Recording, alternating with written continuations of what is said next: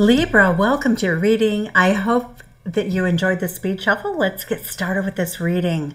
So, the overall energy that's coming in is truth, the raven spirit. So, you are definitely in the mood for truth. Your person looks like they're being honest. I get the energy also of Mystic Meadow, the sanctuary you also are having a very transformative time in your life. We have butterfly spirit. So you and your person are both going through this combined energy of being at a stage in your lives where there's a lot of change. All right. So the overall energy of the reading though is 8 of wands, passion, communication, travel, enjoyment, really being very like very physically active with each other as well as emotionally active. So when we look at the energy of your person in terms of their thoughts, their feelings, their intentions, and their actions, we will clarify everything also with the Heaven and Earth Tarot. But we see your person has you in this energy of, in terms of their thoughts, is that they're really seeing you as a very good friend, somebody with whom they can be very passionate. But the Two of Coins tells me that they're keeping some of their options open. Um, I get the feeling that you may feel as though this is a friends with benefits kind of relationship because the Five of Wands are very ego driven right now. In their heart space, they are wounded from some sort of a relationship in which somebody was very overtly selfish with them.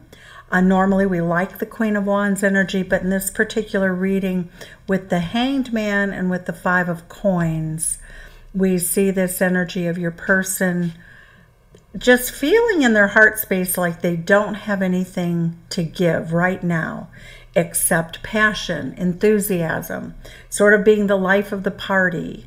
So their heart space seems as though they're in a healing place at the moment. In terms of their intentions with you, they do intend to open their heart.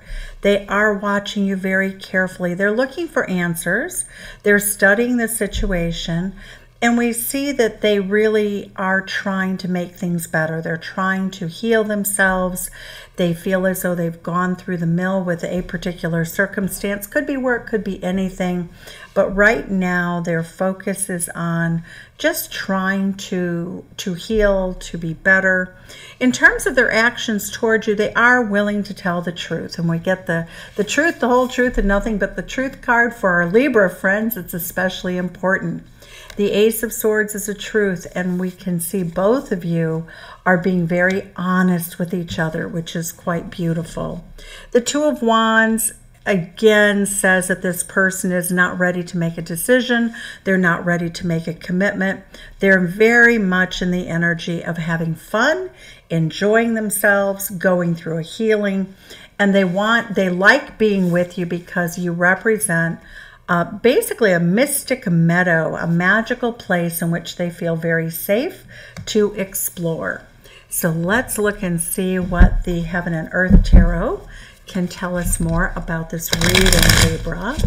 All right, so I love this deck. Both of these decks are quite beautiful and they're quite different. Okay, so let's see what we have. The Eight of Wands energy. Why is it here? The world card. So your person has gone through a cycle in which they they may have traveled the world too. The two of you may travel the world and that's what I'm seeing. You may be from different cultures, different countries, different ethnicities, you may speak different languages, uh, but you share a very passionate desire to look at the world and to play use the world as your playground. So the Five of Wands, you may meet this person traveling also. If you haven't already met them, you may meet them traveling. So the Five of Wands, why is it here? So that is a card of ego-driven, sort of low-grade arguing. So the Princess of Cups tells me that your person is a flirt it tells me that, but they actually are much more serious than you think they are because they come across with this very flirty energy, sort of ego driven. The first impression of this person is that they could be very much a player. But interestingly enough, it's also clarified by the Emperor card. The Emperor card is a King of the Kings. The King of the Kings does not play. The King of the Kings knows what they want. The Star card, healing. So your person looks as though they're coming into this with a, they think of you as a person with whom they could and would change their mind about playing the field. We, that Emperor card is like, oh goodness, no, no, no, no. Libra, Libra, Libra. Libra, you are on the natural seventh house cusp of Aries energy. And so that when we get the Emperor, we have an Aries energy. The star card is about healing. It's about having a love that's so beautiful. The inside, they see you, Libra. When they think of you, they see you as a rock star of women or men or whoever, spiritually speaking. They see you as a rock star in love. The star card, look at this, is also their intention to enjoy you, to let their guard down, to not be so closed off. So we have the Seven of Cups, the Two of Coins is like juggling people. The Seven of Cups is keeping their options open. So as they came into this relationship, they thought, well, we're just going to have fun. And now they're starting to rethink it. When we get the Hermit card, there we go. There's the rethinking. so the Hermit card is always searching for answers. It's it's Virgo energy. It's seeking enlightenment and wisdom, making sure that they do the right thing. The Three of Cups is clarified by the Three of Swords. So it looks as though this person entered the relationship thinking that this would be friends with benefits and they realized that they're developing feelings for you. The Three of Swords, they don't want to share you.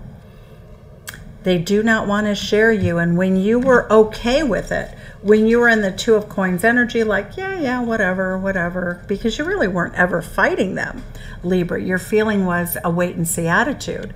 But we see your person realizing that they do not want you uh, feeling like you're in competition with anybody else because they are choosing you, though that was not their thought, it was not their intention, it was not what was in their heart space or isn't currently that they would be exclusive with you. But now there's this feeling that you're highly desirable, you know, that you are not only, you know, the, the star, the rock star, but they see you as a transformative person in their life where in in the past they have kept their heart really closed off and now look at this energy.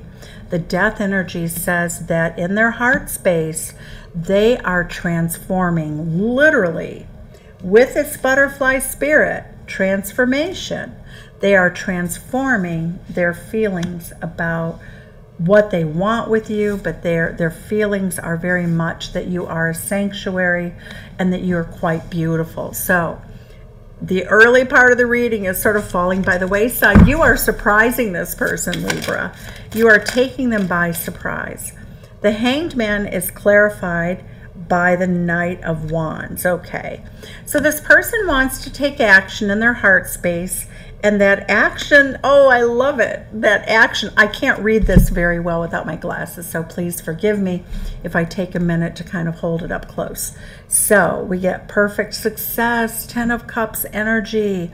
10 of Cups energy, they are flying in your direction you know, they were thinking, oh, yeah, I'm just hanging out with Libra. Now they're like, I better hustle over and see what Libra's up to because I want happiness with Libra. Libra, you have changed this person's mind. They didn't enter this relationship thinking that you were going to be their significant other and they're going through a rebirth. So why is the Queen of Wands here? Well, we have the Moon card. We have the Moon card, the Queen of Pentacles, the we have the five of coins. Okay, the, so this really does tell a story. The hanged man, they were hung up on somebody else. They were hung up on somebody with this energy of the air, the Aries queen. And we really see them. They they were trying to keep their options open in case this person came back And now, oh no, oh no, no, no, no. Because the Two of Coins and the Two of Coins, now they have decided that they want you. In their heart space, they've had such happiness with you. They really see you as their divine partner. The Ten of Cups is being married happily ever after for the pure joy of it, not for any kind of economic gain, not for anything other than pure love. The truth speaks. So now we see them intending to let their heart, their guard down. They're watching you very carefully. The Two of Swords, they're at peace with it, but they haven't told you that they love you yet. They do intend on telling you soon. Okay, right now the Two of Swords says they're not speaking, they're not talking, but we see prudence. This person is in they're in this Eight of Pentacles energy. They are manifesting this relationship. They're getting to know you. When the time is right, they plan on absolutely revealing what they want with you and making an offer. Here we go. They go, you, look at that, Fool energy. So their intention is to absolutely ask for a beginning with you, a new beginning that is not friendship. It's all about the clarity, the truth, the clarity, and the honesty of wanting this beautiful six, excuse me, beautiful star card energy, six of swords. They got themselves into trouble with you because they came across as, no, no, I'm just, you know, I'm hanging out here. Yeah, you're nice, but I don't know, Libra, you know, I'm at this point in my life where I'm not really sure I'm going to do anything significant. And look at, they go from the six of swords after realizing who you are, Libra, Six of Swords, trying to heal the relationship. This is their intention. Right up to the Lover's card, another Six of making the choice. And when you look at the Lover's card, they're both very enlightened. It's like a gift from the heavens, and that's how they see you. So let's see what we have. The Ace of Swords, tell us what the truth is. The truth is, this came as a total shock to your person. Shock and awe. The Tower card, all of their illusions about love have been shattered. They realize that when love is real, that the Queen of Cups, you represent somebody kind, loving, gentle, somebody that would actually choose them and they could choose you safely. So I do think that your person is somebody who probably is very successful, and a lot of people try to attract your person to them so that they can get financial gain. And so that was was what I see as sort of the underlying cause of all of this feeling of frustration in your person's life. The Eight of Swords says that their actions are going to be clarified by, ooh, going from not taking any action to a big cup of love, a sweet offer of love. I believe they're going to offer you a vacation or a trip somewhere.